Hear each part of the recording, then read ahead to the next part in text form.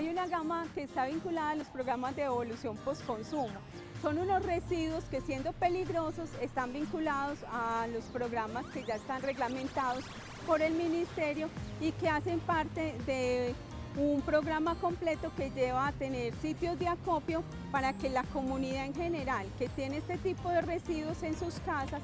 eh, los pueda disponer en unos sitios especiales.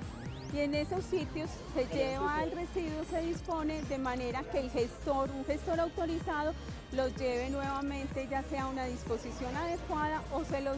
devuelva a sus fabricantes para nuevamente ser usados. Dentro del grupo de residuos peligrosos hay una gama demasiado amplia, o sea, puede haber eh, lo que son aceites usados, eh, pilas, eh, baterías plomo ácido, luminarias, las llantas, medicamentos usados ya vencidos, componentes de computador e impresoras.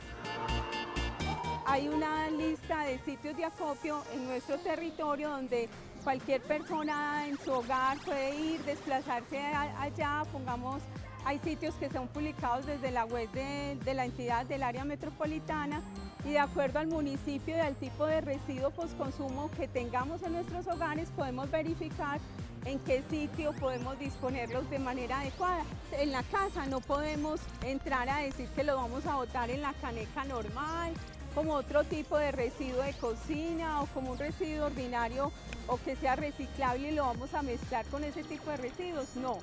En este, este tipo de residuos los vamos a tener que tener separados mientras tenemos el tiempo de desplazarnos a esos sitios que ya están autorizados y que están vinculados a los programas de evolución postconsumo para que allí